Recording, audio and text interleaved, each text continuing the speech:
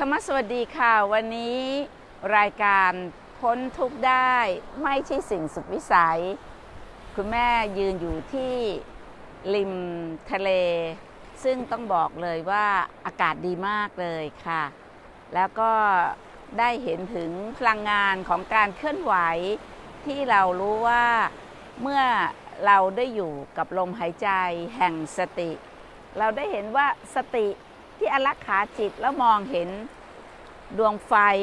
ดวงใหญ่คือพระอาทิตย์เนี่ยนะคะกำลังจะตกรับขอบทะเล สวยงามมากค่ะ คลื่นนี้ก็คือน้ำกับลมนี่เอง ชีวิตก็ประกอบไปด้วย ดินน้ำลมไฟที่มีสติเชื่อมโยงให้สิ่งเหล่านี้เนี่ยอยู่ในความสมดุลนะคะ คุณแม่เดินอยู่ในคลื่น คุณแม่ก็เห็นว่าเท้าที่เราเดินอยู่มันอาจจะมีอะไรที่ทำให้เราเซ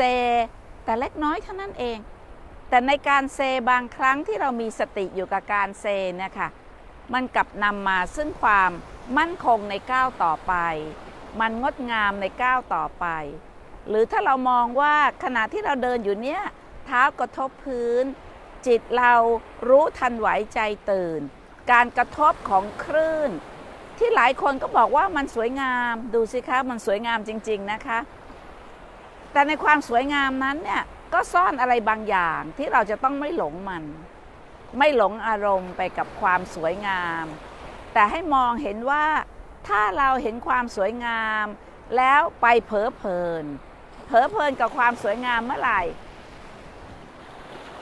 ชีวิตตกแน่ค่ะ ฉันเห็นความสวยงามได้แต่ต้องไม่เผลอเพลิน ขอยืนยันว่าความจริงอันนี้มนุษย์ทุกคนทำได้นะคะ เรามองเห็นความงดงาม เราเห็นถึงความเย็น สัมผัสได้ถึงการมาการไป และเห็นใจของเรามั่นคง เวลาที่มีคลื่นมาก็มีน้ำเข้ามาแล้วก็พาทรายกลับลงไปด้วย แต่เรามั่นคง เพราะเราเห็นการมาการไปนี่เองค่ะ การได้ยืนอยู่ที่ทะเลอันดามันวันนี้ เพราะว่า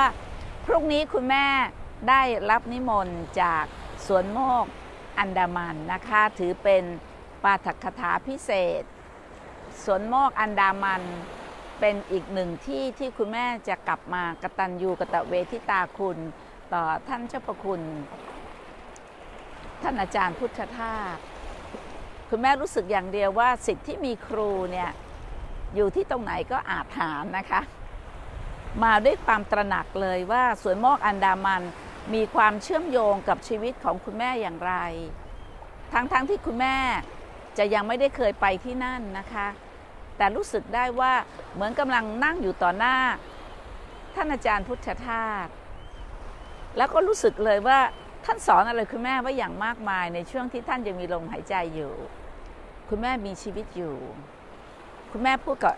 ตัวเองว่า ตอนที่ได้ยินเสียงท่านอาจารย์คำรามว่า คุณสันสนีคุณทำแล้วหรือยังโอ้เวลานั้นคุณแม่หวั่นไหวไม่ได้เลยนะคะ คุณแม่ต้องอาบฐานแล้วก้าวต่อไปในความยากลำบาก แล้วกลับมาบอกกับท่านอาจารย์ว่าได้ทำแล้วเจ้าค่ะ แล้วสิ่งที่ทดลองทำมันก็ทำให้เราได้เรียนรู้ กับการมาการไปการขึ้นการลงการเกิดการดับ แล้วมันก็ทำให้เราแข็งแรง วันนี้คุณแม่กลับมาที่นี่อีกด้วยความเป็นสิทธิ์มีครู ท่านอาจารย์โฮบอกว่า ไม่ว่าท่านจะไปทำอะไรที่ไหน คุณแม่จะตามไป จริง ๆ แล้วเป็นความจริงค่ะ คุณแม่รู้สึกว่าท่าอาจารย์อายุจะ 90 แล้ว ท่านไปที่เสถียรธรรมสถานแล้วท่านก็บอกว่า ถ้าคุณแม่จะไปที่สวนโมกอันดามันสักครั้งหนึ่ง คนที่นี่คงดีใจ คุณแม่อยากจะกราบเรียนพระเดชพระคุณท่านอาจารย์ว่าคุณแม่ตหากที่ดีใจ ที่คุณแม่ได้กลับมารับใช้ครูบาอาจารย์ แล้วก็ยังได้มีโอกาสมาหายใจลึกๆ คุณแม่มีลูกศิษย์อยู่ที่ภูเก็ตนะคะ ก็ คนที่ภูเก็ตก็ต้อนรับมากเลย แล้วคุณแม่ก็รู้สึกกระตัญญูต่อคนที่นี่เคยมาเดินที่นี่ตั้งแต่วันที่มีสึนามินะคะ ที่เขาหลักนี่ก็ต้องเรียกว่ามันมีแต่กลิ่นของความเสียใจ ความสูญเสียมากมาย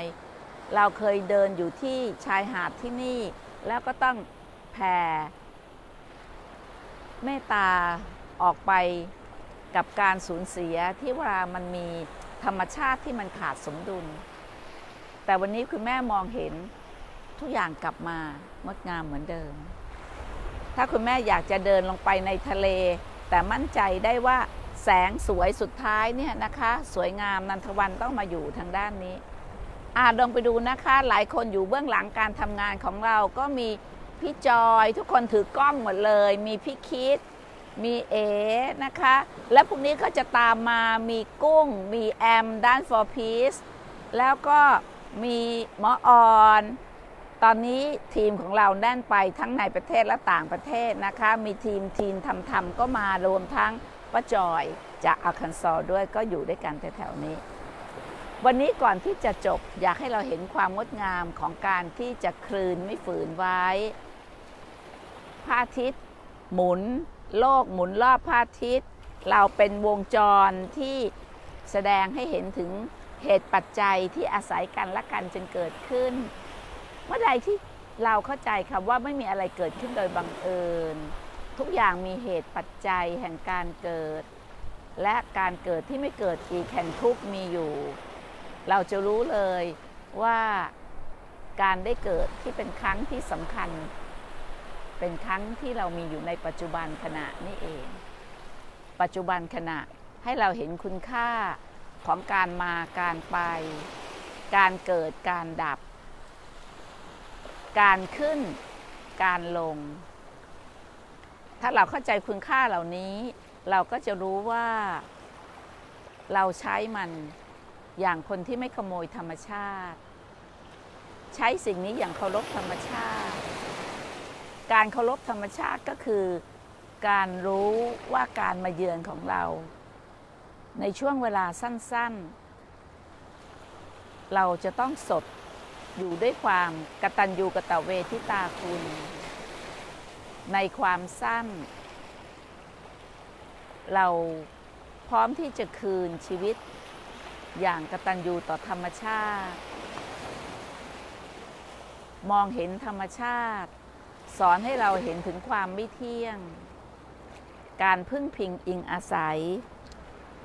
การมาการไป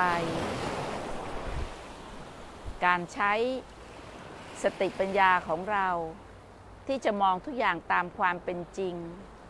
อย่างประจักษ์แจ้งในใจของเรา ไม่มีอะไรที่คงที่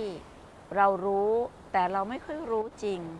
เราจึงยึดถือสิ่งที่ไม่คงที่นั้น เป็นของฉันด้วยความเผลอเพลินอยู่กับความสุข แต่ถ้าเราเห็นสุข และเราไม่เผลอเพลิน เราจะบริหารความสุขนั้นอย่างเหนือสุข และพร้อมที่จะคืน พร้อมที่จะไปอย่างทิ้งความงดงามของธรรมชาติไว้ อย่างเป็นผู้ที่ไม่ขโมย ไม่ระโมบ ไม่ใช้ชีวิตอย่างมักง่ายประมาทและขาดสติ จงมองเห็นความจริงที่เป็นสัจธรรม ว่าเราเป็นแค่ผู้มาเยือนที่มาแล้วไปเพียงเท่านั้น แต่การมาของเราทำให้โลกใบนี้ผาสุกและงดงาม ด้วยการกระทำและทุกคำพูดของเราที่ทำให้เกิดความสามัคคี การเรียนรู้และการทำหน้าที่ของเราในกายกรรมวจีกรรม ที่ทำให้เกิดความรู้แจ้งที่ประจักษ์อยู่ในใจของเรา มันคือความงอกงามเสมอ แม้สิ่งนั้นจะต้องดับไป ความงดงามเช่นนี้มีอยู่ในทุกๆทที่ของชีวิตนะคะ คุณแม่ยืนมองดู ดวงอาทิตย์ที่รับขอบฟ้า ถ้าเป็นเด็กก็บอกว่าพระอาทิตย์ตกไปในน้ำพรุ่งนี้พระอาทิตย์ก็ขึ้นแล้ว